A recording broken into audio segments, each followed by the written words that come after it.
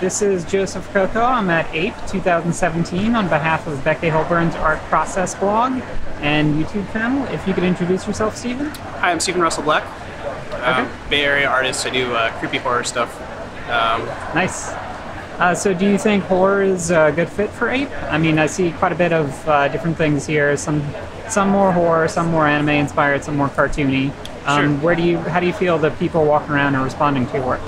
Uh, it's definitely a smaller group of the larger population are my people, but uh, they, Yeah. they, they come and find me out, so uh, I'm happy happy for that. Cool. But uh, no, Apes, Apes a great show, um, celebrating all alternative uh, creators. So always happy to be here.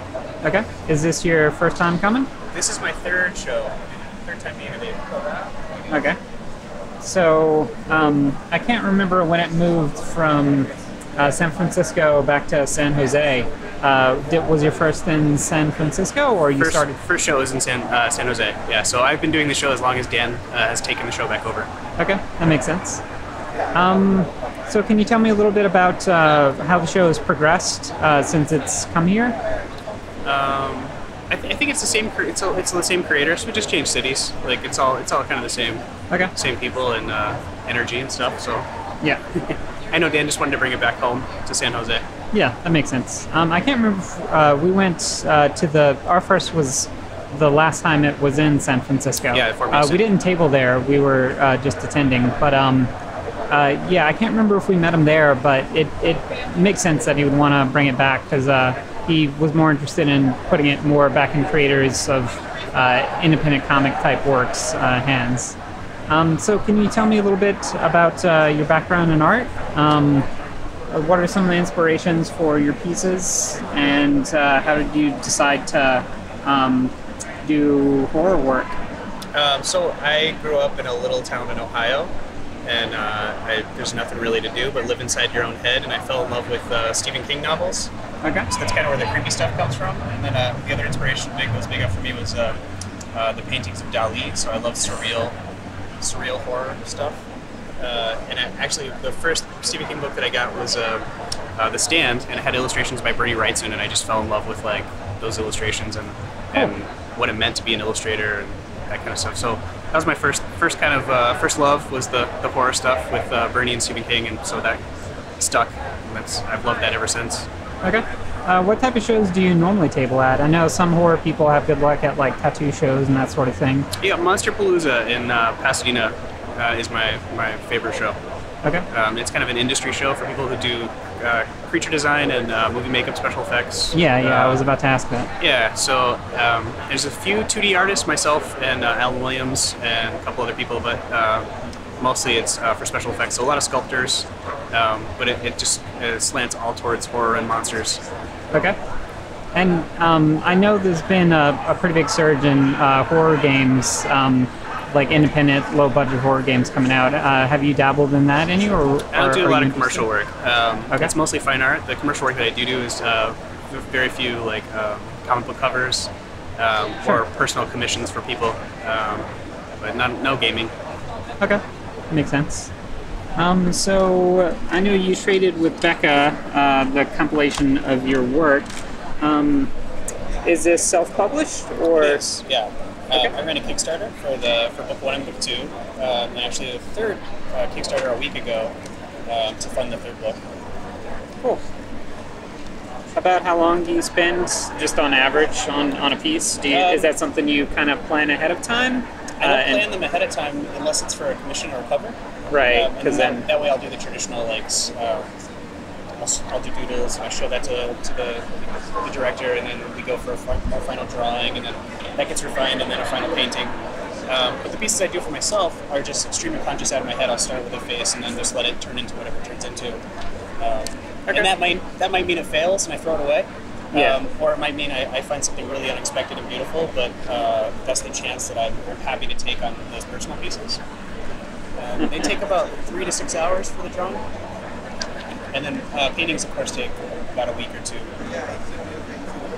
So it seems like horror. I'm sure a lot of art forms are like this, but you probably need to take in um, a, a variety of, of work to try to figure out uh, how you can uniquely express your vision in something that's um, terrifying, I guess. Uh, where do you where do you go to try to find inspiration for piece? I mean, Oh, you sure. said you kind of just start playing with things and see what comes out of it, but Yeah, I'm sure you also- Oh, have to be fueling your subconscious somehow yeah. in order for So- that to work out. Yeah, so I'm also I'm, I'm visiting like um, the Academy of Sciences in San Francisco, Okay. um, and Natural History Museum in LA, um, and I'm just I'm constantly taking photos of like um, skeletons and, and pictures of my friends screaming and like just like we you know like just ta- constantly taking in like um, and documenting as much reference and, and things as possible, and then kind of like taking that stuff all in, and then when I uh, combine it, uh, make sense of it, and then put it back out is kind of the work that I that I create.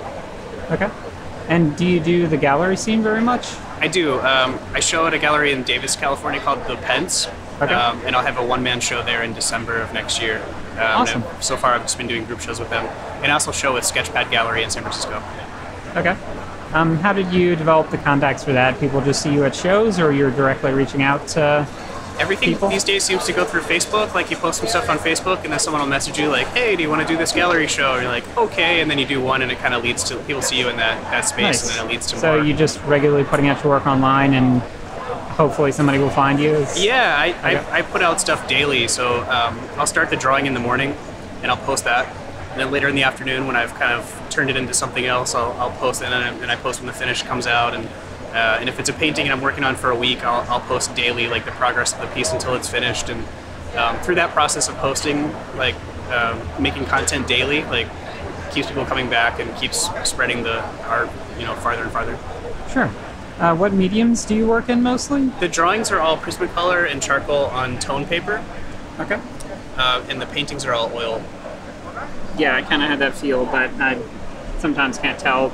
People, some people have gotten really good at faking things. Di- well, faking, I guess, might not be the proper word. Emulating things digitally. Oh, sure, So yeah. To ask to be sure. Absolutely, and especially if you've only see a print, like you, you, you sometimes they're they're a really good painter and they just happen to be, you know, use digital, and it's like, Yeah. oh, that's a killer painting, and you're like, well, it's a Photoshop piece, and you're like, yeah, but it's still a killer painting. Like, Yeah. um, well, it's just sad that there's not a physical like relic, and I'm Mm-hmm. really into. Um, um, so the, the the piece are just like you know visual communications kind of stuff. You're just you're putting your thoughts on the paper and you're like trying you know hoping that someone else understands what you're you're doing. But the the physical originals and having that big oil painting that's like this thing that you labored over and you like the, you see the mark making. So it's just there's such a more visceral like reaction when someone sees that in person and Yeah, especially um, with the textures, I feel like that can add a whole lot to horror. Really. Yeah, and I just I love that the art object as a relic, like because the the pieces online are what people are interacting with and, and excited about or sharing or, or that's kind of their daily experience with my work.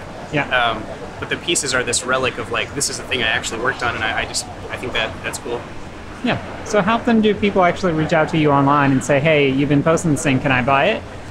Often, actually, I, I Nice. um, the paintings are all sold, and I just have a few drawings left that I brought to the show. But um, that is luckily that is um, um, a great problem to have because I, I, I when I come to these shows, I don't always have a lot of stuff to share or bring to sell because uh, as since I post them as they're being made, if someone connects to a piece and they, they want it, then I'll, I'll sell it to them right away. Okay. And you talked about doing uh, a few of the comic book covers. Um, how did you develop those relationships? Uh, again, is that just something Facebook?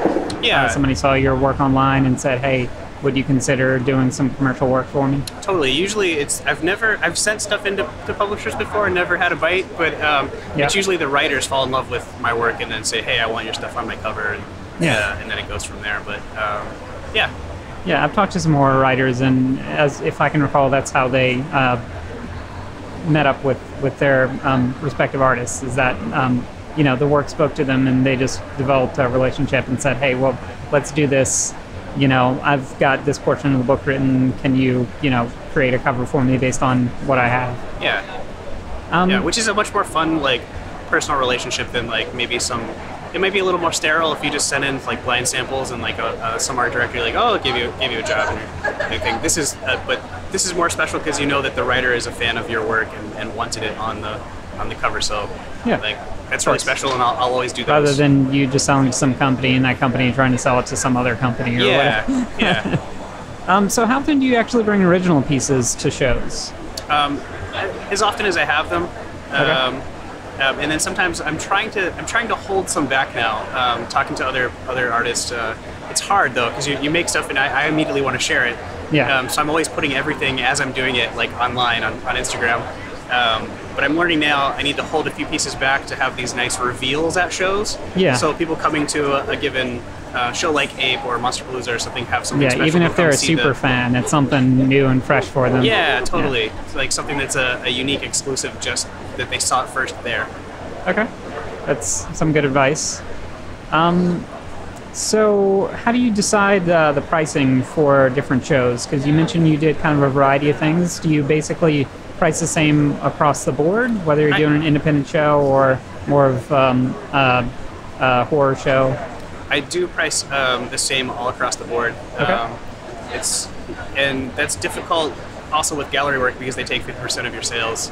Um, Yeah. So you can't immediately bump your prices up to reflect like to try to get the same numbers because it's just not fair to um, to the end Patrons at that. yeah, patrons. So, um, but prices um, are are are the same across the board for everything, Okay. um, and then they they slowly rise from year to year um, Yeah. as you're making more complex pieces and the work's getting better. Yeah, well, you need to reward yourself for all the time that you put into your pieces. Yeah, I mean, just because it's taking you the same amount of time doesn't mean you, it isn't of more value. Sure. I mean, but it actually takes you less. It seems to uh, as the years go on, it takes you less time because you get like really proficient at um, doing things and you start to do things quicker. So you, Sure.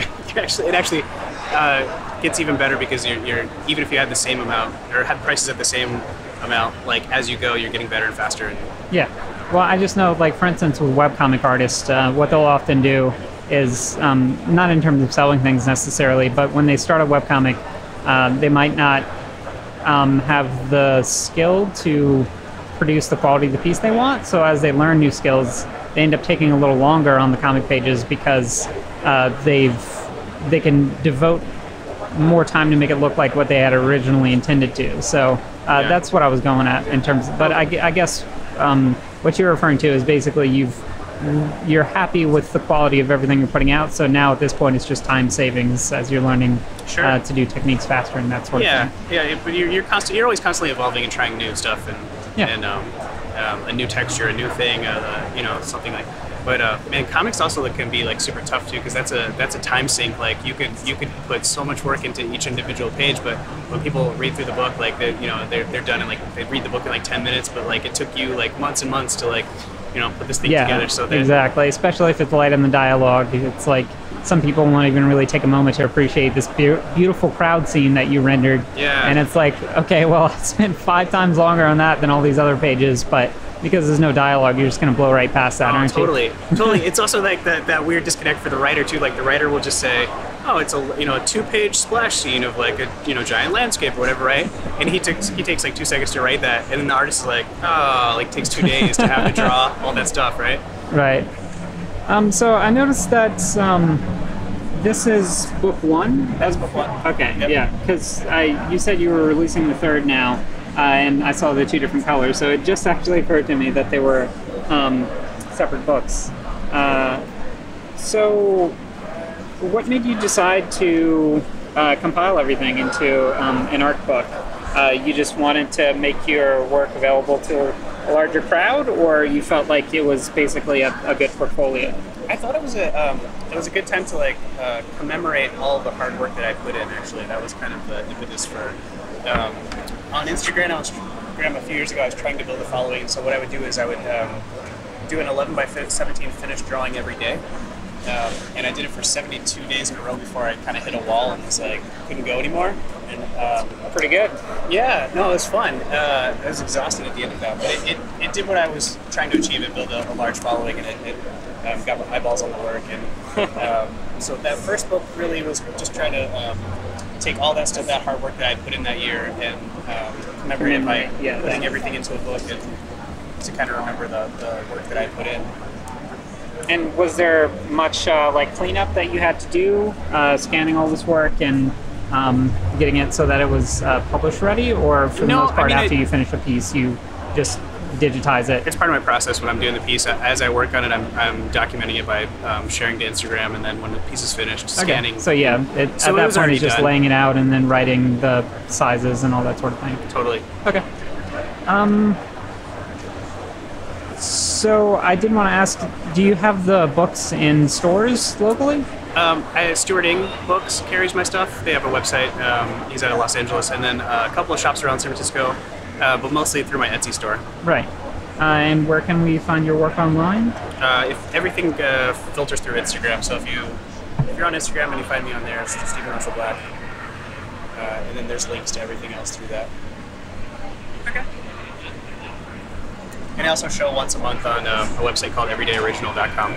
What is it? Uh, it's called everydayoriginal.com. So each day of the month, a different artist has uh, post something, uh, and they're they're small works, uh, and they're meant to be like um, uh, small, bite-sized like kind of things, and everything's priced under five hundred dollars for new collectors or um, collectors that are looking for a smaller smaller piece, and um, that's been a really fun fun place to, to show my work as well. Okay. And I noticed that you had um, a newsletter sign up form on your table. Yeah. Um, I've been hearing more independent creators talk about how important it is to build an audience through a newsletter because um, all these social networking sites seem to be kind of ephemeral. Uh, one is popular and then it's less popular. Um, what's been, what, what have you found? It sounds like you built quite the audience on Instagram, so um, obviously you are hitting, and Facebook, so you're hitting social media pretty hard. But um, what made you decide to also do a newsletter and uh, how do you feel like that audience is different than your social networking audiences? Um, I think then I think sometimes the new the mailing list can be people that aren't really on social media, or Okay. um, and so it's also like a more direct contact because they might not see it like uh, they might go on social media and go off. And the way Yeah. that the, the analytics of Facebook work now, like um, a post might not necessarily have been seen by everyone um, unless it was a popular thread. Yeah. Um, and so the mailing list just it, at least you saw it like it, it goes to you and like you you know you have to delete it the email before you you know it's it's uh it's Yeah, on your- unless you're spamming, there's no filter for yeah. email. Right. Yeah, and, let's- and so most it's people who have signed up, so they, they asked to be on the, the Yeah, of course. But, um, but at least you have to like it's in your inbox, and you have to like either look at it or like just ex- at least see the headline that I have a new something coming out, and before you delete it. So I know that people are at least seeing those. And, um, Okay. So you just wanted to make sure that your um, the people who followed you could keep up with everything that you were doing if they wanted to. Yeah, even if they missed something, because I know, um, like I just did the third Kickstarter, and there's someone who had supported the first two and was like, "Oh, I hadn't, I hadn't seen the, I didn't even know they had a third book out." It's like, yeah. Just a lot of information coming in. Sure, So- and then I feel like I'm a broken record every day, like during the Kickstarter, because you're like, look at the campaign, look at the campaign, like, and um, yeah, there's you know, only so many ways, so yeah, many you different ways feel you can say because look at the you know, like. I, I, I just want to share the work, but like um, during that Kickstarter period, like you're just you're a broken record. You're, you guys are constantly sharing the link, sharing the link, Yeah. um, and finding new ways to share the link. You know, like like here's here's some design stuff I did, or here's here's like this thing that we're doing, and, and different aspects of the the book. But you sort of run out of like things to you know to say, and you're just kind of like pushing that link constantly. And so I feel like Don't a broken forget. record. But then at Yeah. a certain there's at the same point too, someone told me yesterday that like oh I didn't I didn't know a third book was coming out. So it's like you know you got to do all the things to try to to try to get the word out on your on your projects.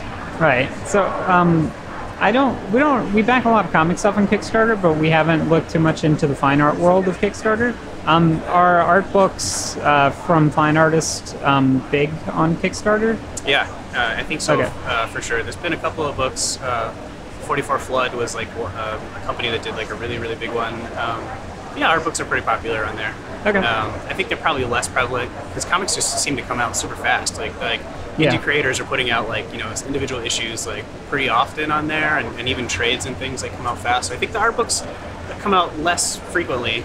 but, Yeah, um, it, it definitely seems to be much more rare for um, a comic to have a milestone for a hardback. I think it just seems like the people on Kickstarter uh, probably aren't looking to spend that much money on an Right. individual comic, but there are exceptions. Like um, Becca was just part of an anthology, 1001 Nights, uh, where the most basic tier for the full set of comics is $100. Yeah. Uh, because it's like a three hard volume bound set. It's a high and- entry point for a lot of people. You know, Yeah. you- especially like a, like APE or, or a certain comic show. If you're if you're coming specifically for like zines or indie creators that are doing like comics, you're Yeah, you're gonna spend like two to five dollar. Yeah. You know, t- ten dollars at the most on a trade, maybe. Like so. So a hundred dollar price point probably prices out some people, but Yeah. um, so it's the same thing. Our books can be a little more a little more pricey, and so that it might not be on people's radar uh, just because it's a higher price point. But Sure. Okay, and finally, would you have some advice to an artist who's considering, or a writer who's considering tabling at um, APE for the first time? uh, I would say come to the show and walk around and kind of know like know the playing field before you uh, jump in and play and um, ask Okay. everybody their kind of experiences and, and um, also know what it is that you like the work that you're trying to put out and what form that takes and how best to present it um, Right. would be would be good questions to ask specifically and then um, once you have that, that playing field kind of laid out then you can go in very analytically and, and line up all of the, the chores and tasks and things that you need to accomplish to be able to come and, and do it successfully All right, that sounds great. And thank you, Steven. I Yeah. hope you have a great day. thanks man